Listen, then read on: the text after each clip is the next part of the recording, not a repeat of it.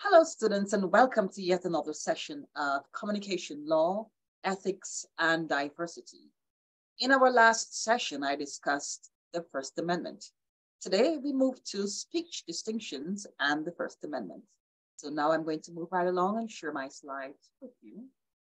And so you would recall that there are a couple of areas we spoke about or touched on the last time in terms of your rights, my rights, and the rights of the audience of citizens to actually have access.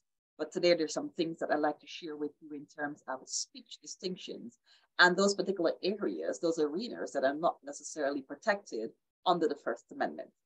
Now, most of you would recall the incident that took place on the 6th of January following the last elections.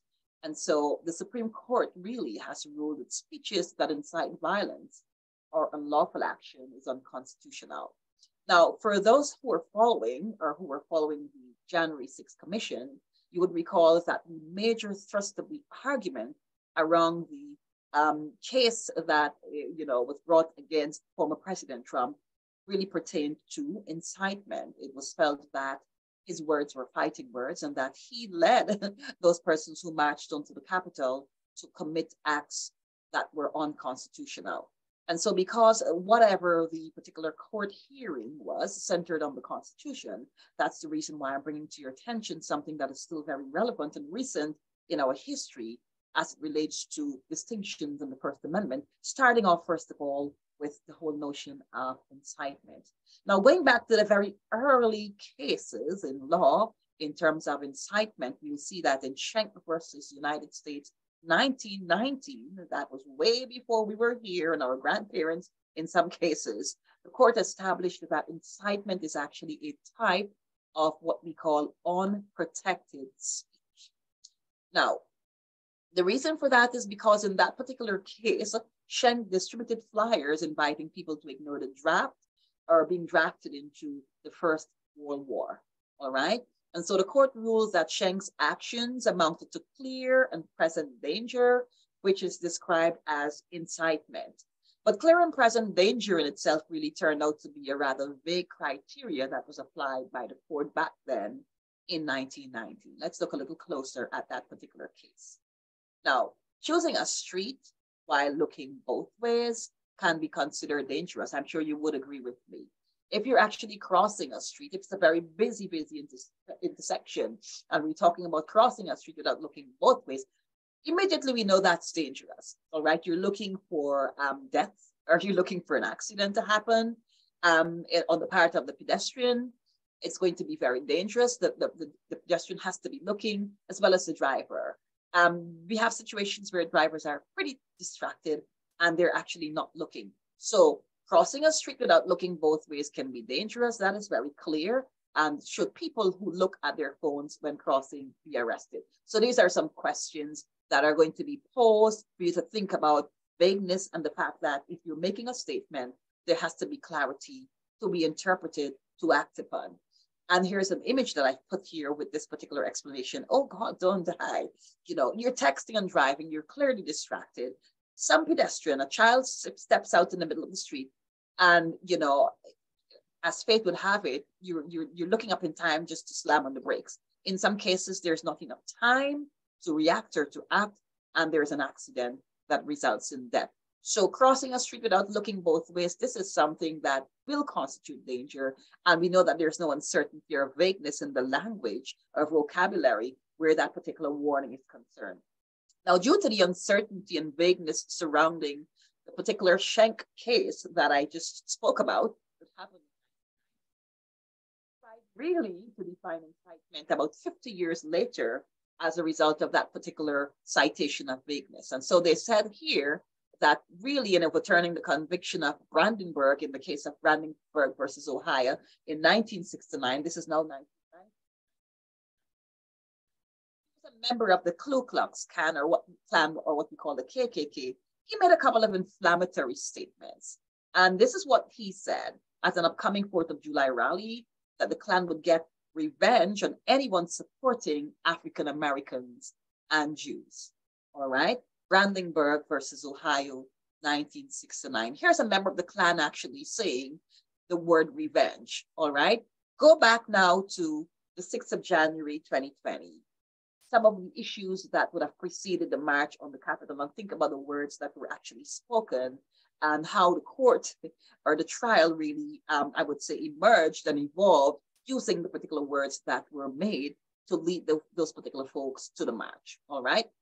Now, the word revenge was actually taken to be very, very serious. So, SCOTUS, or the Supreme Court of the United States, said that it would only punish advocacy that is directed to inciting or producing imminent lawless action and is likely to incite or produce such action. What the court ruled effectively is that Brandenburg's speech did not result in immediate lawless action. It did not meet the requirement. So here is someone saying that the Klan would get revenge on anyone supporting African Americans and Jews, but yet the court ruled that he did not incite or he did not direct his particular arguments saying that I'm going to get revenge on Tom Jones or anybody else named because the court is saying that it is not likely to, to incite or to produce such action. And so they're saying that his speech did not result in immediate lawless action. Again, I'm sure that we can say coming years later, this is not what has occurred because we cannot assume that people who are listening are rational thinkers and that they're not by what we hear and they will not act upon it. Now, the Brandenburg test really brings us to this whole notion of speech and the nature of speech and advocacy when it comes to the First Amendment and those speech distinctions. And so whether speech advocates immediate lawless action as compared to speech that advocates lawlessness at some point or in the future are only conditional, it's said to be imminent. So the court really put imminence to the test really in ruling in favor of Brandenburg back then, years after that particular 1919 um, um, trial that occurred in the first place. So the Brandenburg test really speaks to whether speech is likely to produce imminent lawless action. That is, if there is actual lawless activity immediately following the speech or likelihood, that's when it's going to be called unconstitutional. So it's about imminence in the first instance, it's and it's about like likelihood. We know we're not living in a society where in some cases you've got to wait until it occurs, but it's likely to happen and so there has, there has to be preponderance, a preponderance of evidence to support that. And I'd like you to read Brandenburg versus Ohio. If you take this particular link and you go into your browser, you're going to see the case coming right up and it's going to just really let you know what happened, what preceded this particular issue and how the court ruled in favor. Now, apart from those particular types of incitements that I've cited here under the Danger Schenck versus United States 1919, and when we come to Brandenburg versus Ohio in 1969, there is also what is called the true threats. True threats are statements where the speaker means to communicate a serious expression of an intent to commit an act of unlawful violence against a particular group or individual. All right. So what is not protected, number one, incitement. Number two, true threats. So let's examine this a bit closer. The true threat doctrine in the case of Watts versus United States in 1969, whereby Watts, upon being asked what he would do if he was drafted for Vietnam, he said that he would get, and I quote, LBJ, President Lyndon B. Johnson, in his crosshairs. I'm going to get him in my crosshairs. So this is what he said. And this is what the court responded. They said that, well, it is not as serious as you guys are actually making it out to be. Some of the people who heard, they said, hmm, this is ridiculous. We've got to really tell on this guy, you know, what's is actually making a threat against the president. And the court said, no, his comments were not a serious expression of intent, meaning that he was joking to say that I'm going to get the president in my crosshairs. It is not a true threat. That was what the court ruled. All right. Now, as far as the court is concerned, to be considered a true threat, the speaker need not actually intend to carry out a threat. He must only indicate seriousness. So they must deem the seriousness of the threat to be sufficient to take the person into account and to charge them, and to deem their words to be true and sufficient enough that they're they're, they're, they're going to actually carry that particular thing out. All right. So again, the court ruled in favor of this guy who said that he was going to get the president in his crosshairs. It was not deemed to be an active, serious case against the president. Now, apart from true threats, there is what is called intimidation. And it is it's it's actually a type of true threat where the speaker directs a threat to a person or a group of persons with the intent of placing the victim in fear of bodily harm or death. And so somebody's name is called, they probably to kill Tom Jones. And so Tom Jones is actually fearful. I'm going to dismember Tom Jones in such a way that he will scream until he dies. If I were to bring you real cases that are happening right now, you would see that recently, in the case of the intrusion by the guy who is now before the courts for intruding into the home of former Speaker of the House, Nancy Pelosi, and actually damaging or um, attempting to, um, you know, harm. He actually did bring harm to her husband um, by just using the hammer. And, you know, it said that he's going to take months before he recovers. He's out of the danger zone, but it was a true threat. It was really an intimidation um, directed at the person. He said that words. He went there to speak with the, the Speaker of the House um, to actually get the truth out of her and if it is that she did not give him the truth, she was going to, he was going to actually break her knees or do something terrible. All right. So this is intimidation. It's a type of true threat that was admitted um, by the person who's now charged and before the courts. And so in, in, in the time and the era that we're actually living in, I hope that, you know, we've been able to look at what is happening in the news and to associate all of the that, that we're hearing with these particular court cases that have happened years ago, and the way in which the court is actually looking at things differently right now. Because, like I said, we're not necessarily all rational beings, and we're living in a situation where persons believe every single thing they hear. And if there's a conspiracy theorist out there, they're going to believe and they're going to act upon, oh, it's, you, you know, we, we really need to do X or Y. We really need to take action against people who are actually holding us hostage in the economy or whatever it is. And so the true threats that you're seeing, or the courts are acting upon, or the feds are acting upon, or the intelligence community, it's as a result of what has happened and the harm that has come to people in the past, and the, the things that people continue to do to protect themselves and their families. All right. However, there is a caveat when it comes to intimidation. Intimidation that is not directed at a specified recipient is not considered a true threat. So if somebody says that they're going to harm, you know, somebody um, you know, threatening to harm, you know, blacks.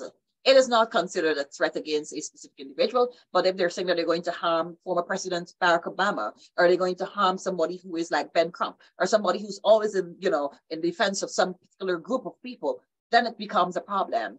For example, if they're saying that they're going to harm all Jews, it is not considered a threat against a specific Jew. But if they're going to harm Spielberg, if they're going to harm somebody um, who is known to be a Jew, somebody who is in public in, in the public eye or as a public figure, then it becomes a problem.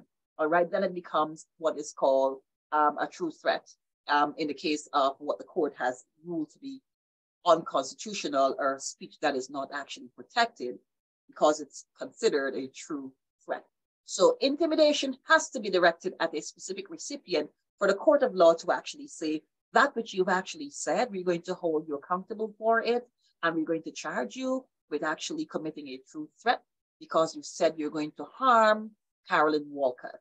You're going to harm somebody who's actually in the class by name because this is what you said, and we are holding that against you as a real threat to the person. Now, threatening to harm, you know, you know, if, if, if you're going to name someone, you're going to, let's say person's name is Bishop Carroll, all right? Or threatening to harm Carole Baskin. Um, this is really different and it's specific enough. That's what the court says. Um, it is not necessarily, you know, all the people around her, but it's this particular individual because it is very, very specific to a true threat. Now, political hyperbole, it's important to note that political hyperbole it is not considered a true threat. When the president threatens war, it is not a true threat because he's just basically saying, oh, we are going to take our country back. We are going to make sure that we actually wage war against whoever it is that is threatening our democracy. Um, it is not a true threat because presidents are in a place where they will say those things and they will do that when it comes to stuff like that. So it's not a true threat when he threatens war because that's the language associated with assurance. Um, um, you are showing the entire um, populace that you, you have their backs and stuff like that. And so I want to tell you that you need to read Virginia Black, 2003. Again, if you copy and paste, um, you can find those particular cases. I'm going to try as much as possible to make sure that they're there in D2L, but I've highlighted it so that you can put it directly into your browser and you will see this with respect to true threat as one of the cases. Now, we come to the third, unconstitutional, what is called unprotected speech, and it's called fighting words. Again, fighting words have to do with that which is spoken. It's like venomous. It's like bullets you're, you're, you're actually using, and it's going to cause disturbance to whoever is actually receiving the words. So fighting words are statements that by virtue of being spoken or written are likely to elicit a violent response or disturbance from their target. Now, remember we spoke about incitement in the first instance, and then we say threats. Now, fighting words are very, very strongly associated and related, but they must be directed at the person who responds violently. All right? Can you think about any incidents or issues that pertain to fighting words? Fighting words were introduced in Chaplinsky versus New Hampshire 19 case, in which Chaplinsky was actually blocking a sidewalk and he was delivering a pointed speech against organized religion. Now, Chaplinsky really was directing his um, fighting words against the marshal when the tongue marshal Harry, goddamn racketeer, a damn fascist, right? So the marshal arrested him because he was actually directing his fighting words against the marshal. And that's the reason why the case ended up, you know, in the Supreme Court of the United States. And this is what the court said. The court said, and because of its nature, it was likely, highly likely, to elicit a violent response. Perhaps there would have been a fight that would have broken out between the marshal and Chaplinsky. But proving fighting words is probably one of the hardest tasks to undertake in a court of law. And so courts rarely classify speeches as fighting words. Think about that. Think about how in election cycles, during election cycles, when we hear ads, we hear a lot of fighting words. So perhaps we need to have some reform or to re-examine what constitutes fighting words. The name calling, the mudslinging, the different ways in which you hear opponents referring to each other. In some cases, some opponents exercise restraint. They select their words carefully, but in other cases, there's this, you know, sort of there, there are no filters when it comes to the words that are used to describe another party. Statements really directed about um, a group or a class are by nature not directed at a particular individual. These statements are not considered fighting words. All right. So if you say, all of you are lazy, um, or all, you know, um, Jews are bastards, or all blacks are really laggards or, you know, all whatever it is, a particular group, all immigrants are, you know, coming to take jobs or whatever it is. These, you, you, as long as you're not necessarily naming someone, you're not naming an individual that represents that particular group, then it's not considered unconstitutional, so to speak. So you can talk about the immigrants all you want. You can talk about who are the people who are in LGBT community. You can talk about those who are Muslim, um, Christians, Jews. They're not going to be considered to be dangerous, or they're not going to be considered to be fighting words unless you name someone in that particular group. All right. That's not Dr. Walcott saying that, but this is based on what the Constitution says in the context of what can be deemed to be unconstitutional in the context of fighting words. So you've got to name people. All right. But these days, things are changing drastically in the sense that you can become anti Semitic um, based on your particular sentiments about a particular group. You can call a whole group niggers or whatever it is. Um, you'll be looked at in a very strange way because uh, they'll ask you, what century are you living in? If you're going to be branding or labeling an entire group of people based on your words. But again, this has to do with statements about a group or a class of people um, not directed at a particular individual, they're not considered fighting words unless you pull somebody out of that group and you're claiming or you're stating that they're always doing X or Y, or they're, you know, you're going to do whatever it is against them. Um, that's when it's going to be taken before the courts.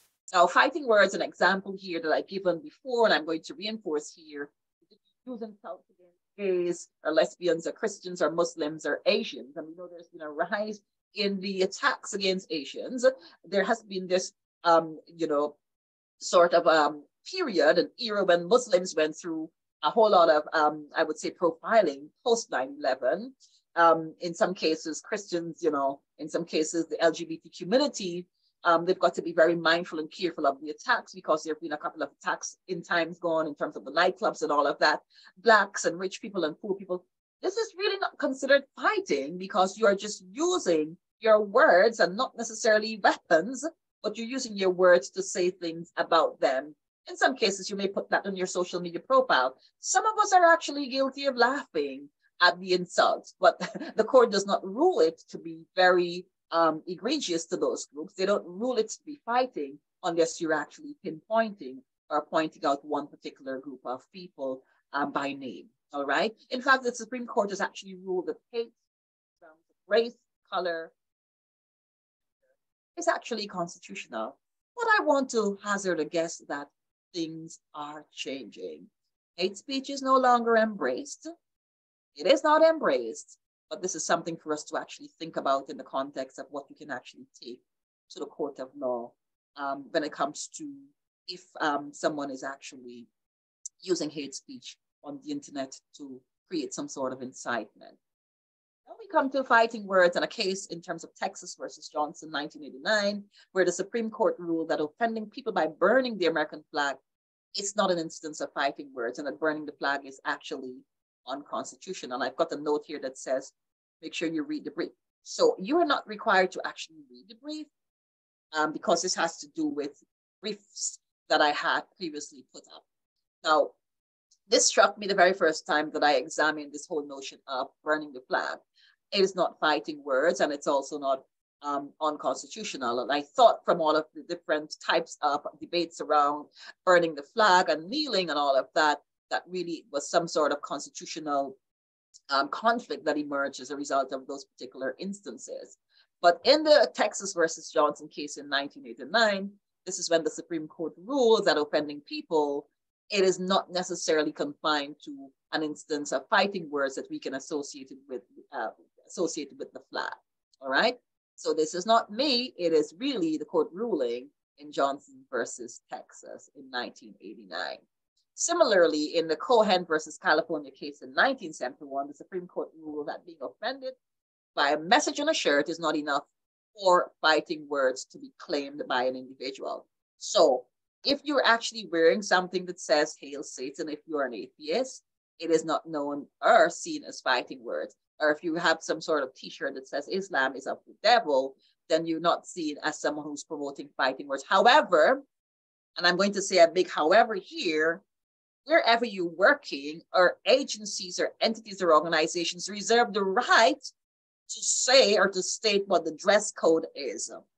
In as much as these are not fighting words, because we're living in an era when this is a very, I would say, not necessarily sacred, but this is a very sensitive thing to do to wear a t-shirt that will offend, even though it's not deemed to be a fighting word, agencies and organizations, they reserve the right to inscribe or to say, our dress code includes X, Y, and Z. Anyone found wearing, um, you know, uniforms or shirts or t-shirts inscribed with certain, whatever it is, they will not be allowed in, or our dress code is in effect.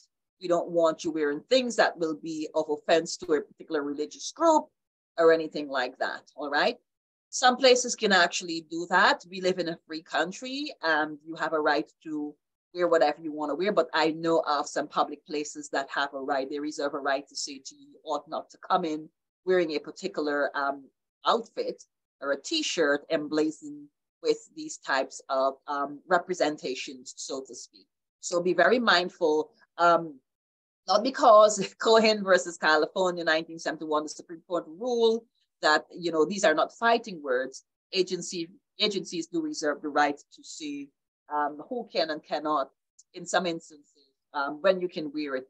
You you can actually do this if you're um, gathering, you're exercising your First Amendment, and you're actually making a case for a particular ruling, or you want to draw attention to a particular policy. Um, in that particular context, you can But if you're certainly walking into an organization that is really trying to promote religious freedom, um, and the CEO of the company deems it to be insensitive to actually wear a t-shirt that says Islam is of the devil, um, he's going to, to put that as part of the dress code. Whoever the person is who's running the company, they reserve the right to say our dress code is in effect. So you've got to make sure that you're aware of the dress code of the place that you're working for, and that even though it is not necessarily going to be deemed unconstitutional, it's within my freedom. I'm supposed to be able to wear what I want to wear and say what I want to say, but not necessarily so when it comes to harming or bringing some sort of offense to those persons who may not necessarily be of the same mind, this is when they can actually talk about their dress code being effect. But in the public, in the open public, I don't think it's going to be the problem. This is really agency specific when it comes to this particular um, issue of fighting words and what you're actually hearing. Because I know some of you may have that question, so it doesn't mean I can't. Yes, you can, but it just depends on the space that you're operating in. Then we come to the fourth unprotected type of, I would say, speech, and this has to do with obscenity. Now, over the years, the Supreme Court of the United States has tried several times to define what is known as obscenity. And the thing about this, you know, I, I, the, the thing I'm going to put to you is if you think it's actually easy, just close your eyes for a moment and try to come up with a coherent definition of obscenity. Obscenity has changed over time what my grandparents defined as obscene, it is now acceptable. What we defined as obscenity years ago, it's now flipped on the other side. And here are some examples. Working without getting paid, that's obscene. Who works without getting paid? So we've assigned obscenity to mean something just ridiculous. Do you expect me to work for free? No, I'm not going to work for free. Or getting paid without working. That's also seen as obscene. So these are two cartoons that are really juxtaposing what is happening in the context of a government worker versus poor Mitch, Mitch McConnell, versus somebody who's in, you know, Congress.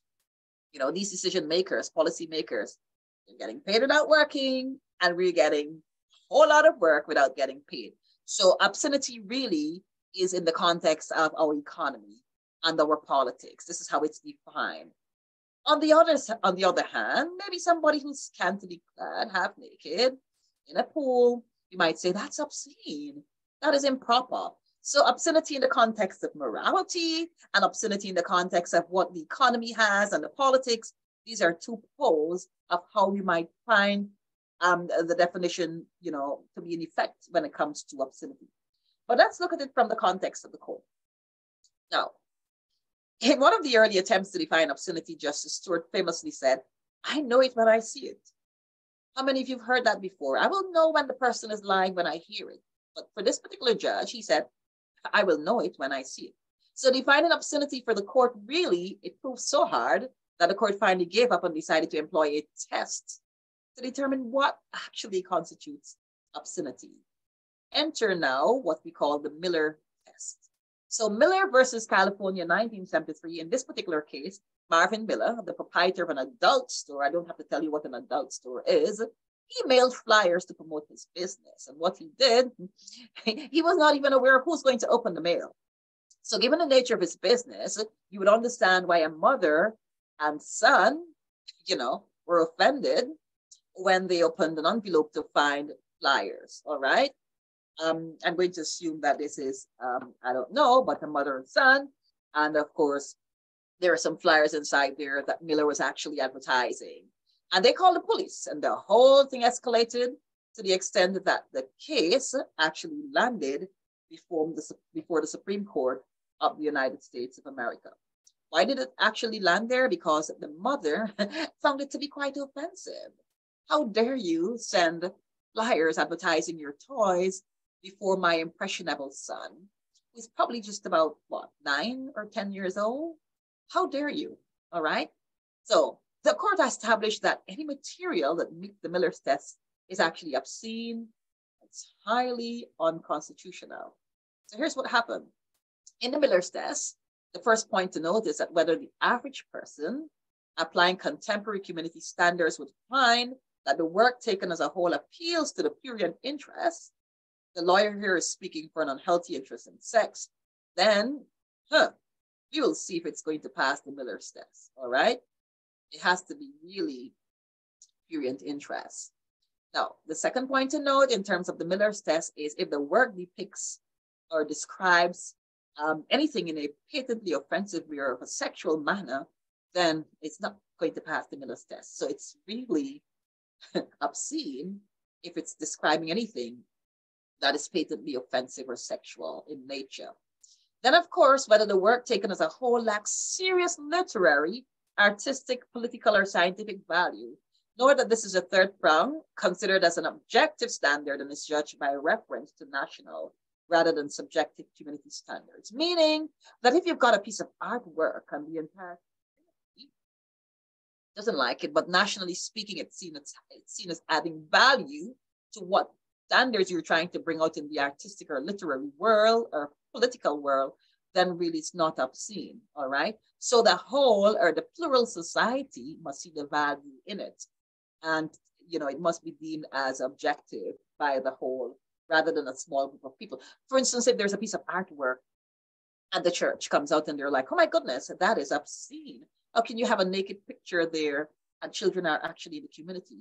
But if really it's, it's a type of, of artwork that is showcasing um, liberation, all right, for a group of people, um, you know, it's depicting a particular time or era where, you know, things have changed in society, the end of slavery, for instance, or the abolition, you know, emancipation, then it's really the larger society that is, you know, impressed, the larger society that is being catered to in terms of the message behind that particular image that is looked at as being pure or objective, so to speak, and not necessarily subjective.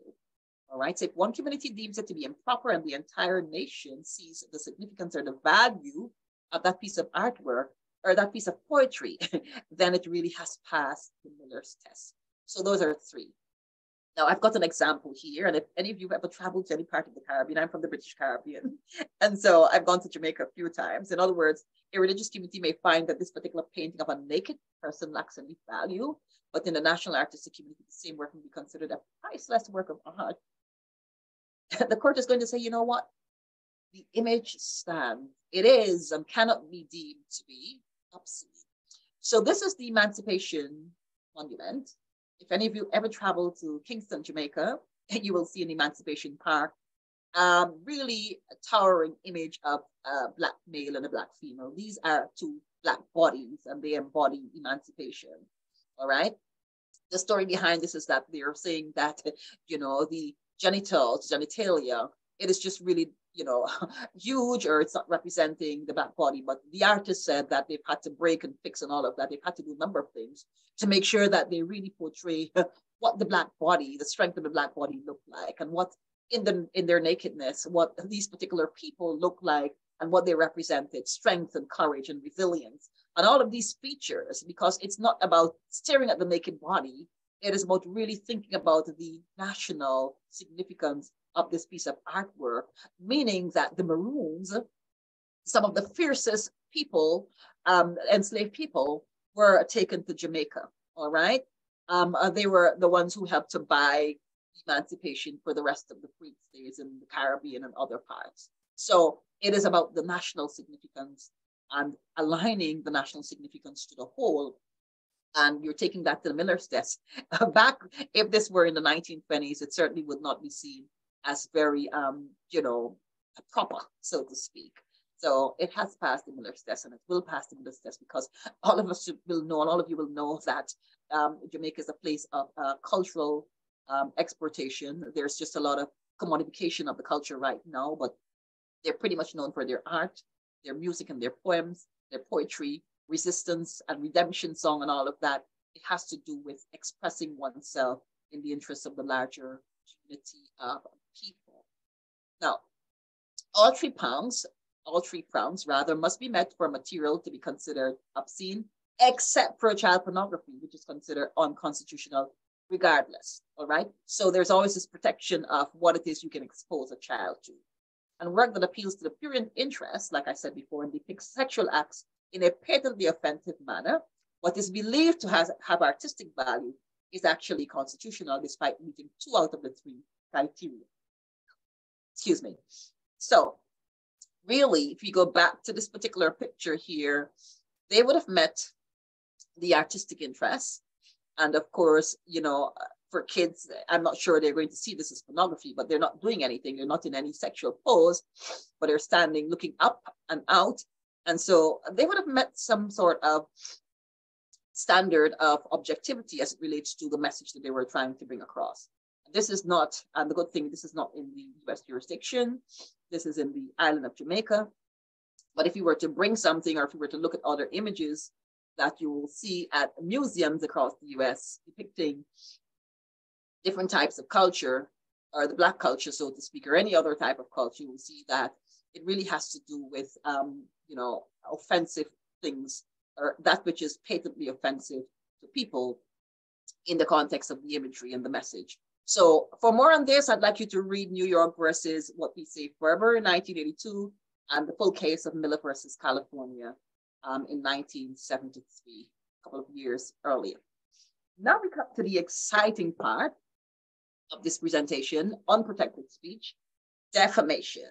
Defamation is basically false communication that harms an individual's reputation, causes the general public to despise or disrespect that person, and of course, it will damage their businesses or their employment ultimately. So someone who's defamed because of the lies or the scandal, they're likely to be scorned by members of society. There's a lot of gossip going on and slander going on they'll lose their jobs, their businesses.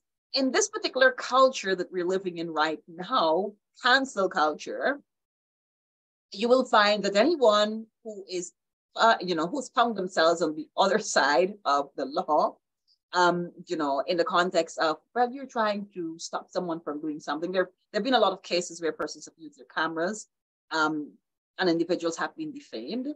It is not necessarily false communication, but they've done things and then you know, the particular instance or incident went viral and they've lost their jobs. I'd like to say to you in the cases where um, they're not in the wrong, this is when it really becomes false communication. If someone says something about an individual, let's say something is said about a company or a person who's running a company, and someone says that, hey, do you know that this individual is involved in a Ponzi scheme? They're actually stealing your money, and you're not going to get what they said you were going to get then this particular false communication can cause some serious harm to the individual. They're a very known character. Let's say they're an influencer on social media.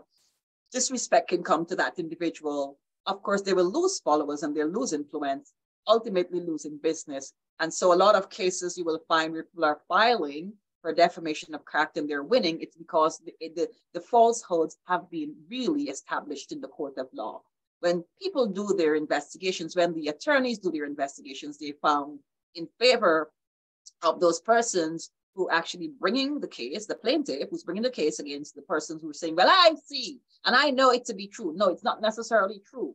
You're bringing a false communication against the person. So the court will rule in, the, in favor of the plaintiff. And so this is where they will actually say that you need to pay the person for a loss of business. And of course, you can also be fined to pay them for those particular bits and pieces of other damages, such as the counseling they've had to take on the sleepless night as a result of the psychological effects of false communication on their life and their livelihood. All right. So false communication in the context of defamation is not protected under the Constitution. It's not a protected form of speech. Now, defamation can be that which is written in the form of a defamatory statement and that which is spoken broadcast. Spoken on the television news, you've got a podcast, you're on the radio, whatever is actually said, you're on your own program, you are you're actually uh, in contravention of the Constitution because you're slandering, or the libel laws will actually kick in.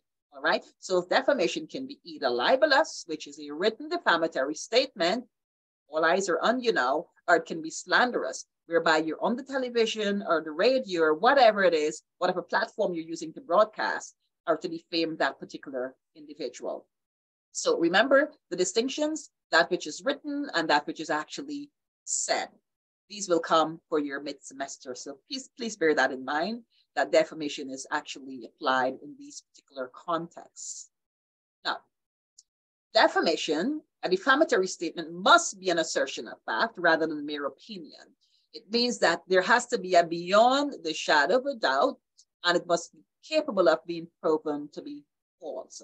For someone to say that you have defamed their character, it must be something that you've actually said or written that is written as in such a way that you presented it as factual. All right. And if you have the evidence that that which the person has presented as factual is not truthful, you've got a very strong case. That individual has got a very strong case in the court of law. And this is the reason why a lot of networks are very, very, very careful of finding out. In journalism, we say when in doubt, find out or leave out. Because if you don't want your particular establishment to be cited for defamation, you want to make sure that you're finding out. Because if it is that you have not verified your sources, two or three sources, and the person that you're making the claims against is capable of actually proving what you said to be false, your assertions, then your company, your establishment is likely to lose the lawsuit. You may be fired. You may never be assigned to that particular beat again. All right. So it's very, very important to make sure that you're not in a defamatory situation. Like I said, if the claim turns out to be truthful, it is not defamation. And of course, it is an unpleasant statement of fact. In this particular instance, you will not be fired. You will be hired over and over again. Other persons may say, hey, you've broken a fantastic story. We really wanted to know who the thief was. We wanted to know who the person was who was giving the scoop, who was giving out the false information about the particular whatever it is. So you've gotten somebody to say something, somebody who's the whistleblower who told on the other person. It's an unpleasant statement of facts that that individual is actually stealing. All right. So your claims that you've written about or you've spoken about, they turn out to be truthful. And so judgment is in favor of the newspaper, the television station, the network um, that has actually defamed that individual, not for wrong reasons, but because you want to put the public on their guard with respect to the person's proclivities. All right. Now, a defamatory statement must identify its victim by naming or reasonably implicating the person allegedly defamed. So I've got an example here. William Smith, a senior executive of Goldman Sachs, embezzled $10 million in personal expense and gifts and vacations. So we know that William Smith is named here. And so William, William Smith has a case. If William Smith was nowhere near the embezzlement, William Smith has been off on leave, William Smith can say, hey, you guys need to pay me for a loss of sleep you need to pay me damages. You need to pay me for defaming my name because I was not there. You've named me as the person in the story. All right. If William Smith is not named, then William Smith does not have a case in this particular instance of defamation. In Rosenblatt versus Baer in 1966, Baer actually argued that he was defamed in an article about a ski resort he was supervising. The article had asked the question, what happened to all the money last year and every other year. And Baer actually claimed that the article was implying that he had been skimming money.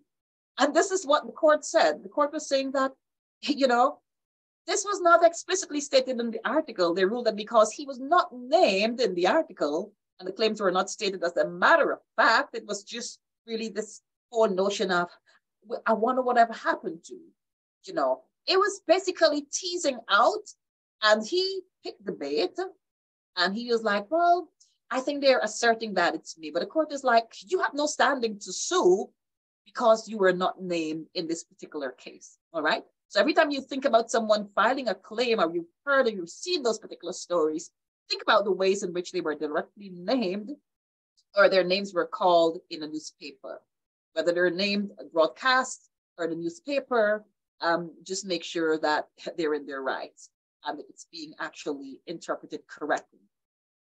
Then we come to commercial speech that is false, misleading, or, connect, or concerning illegal activity. Commercial speech concerning illegal activity, example, if you're advertising illicit drugs, this is not protected because you can actually be cited in the court of law for actually promoting illicit drugs or the use of illicit drugs, all right?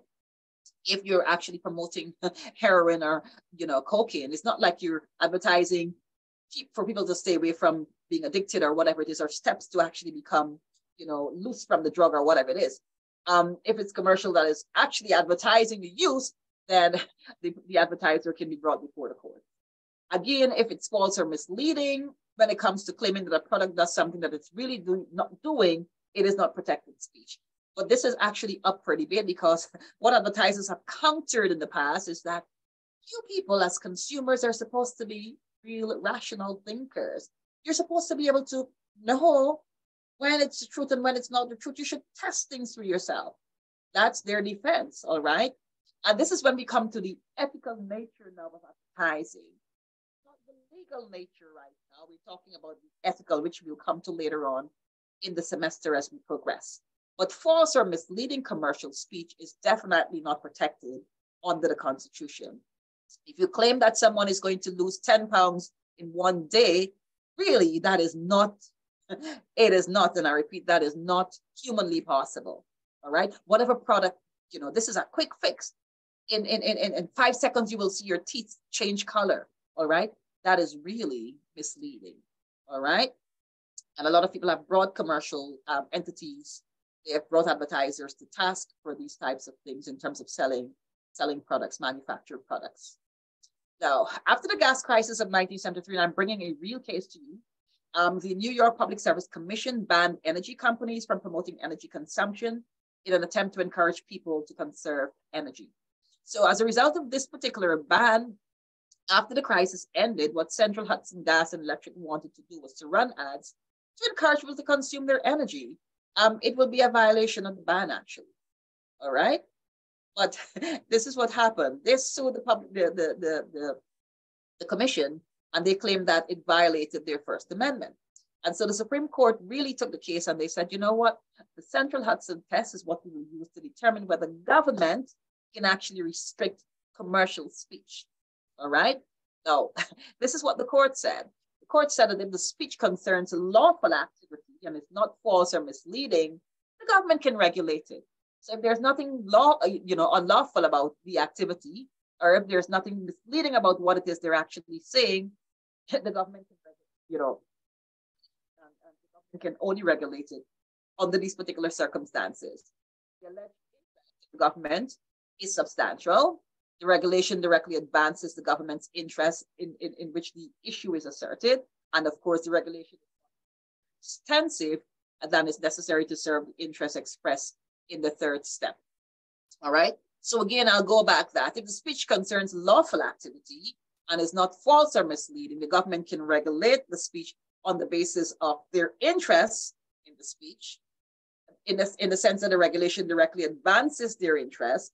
And of course, it should not be more extensive than necessary to serve the government's interests.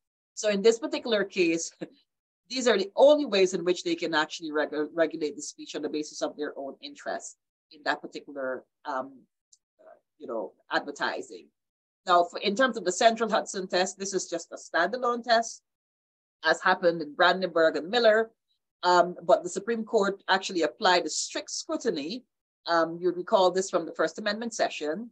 It is asking the government to prove it has substantial interest, which is the restriction addresses, um, and that the restriction is not overbroad. We spoke about that which is overbroad, meaning it really contravenes the First Amendment, and of course the restrictions. A little later on, we're going to talk about the gag order and that which, you know, the state can actually restrict in terms of information.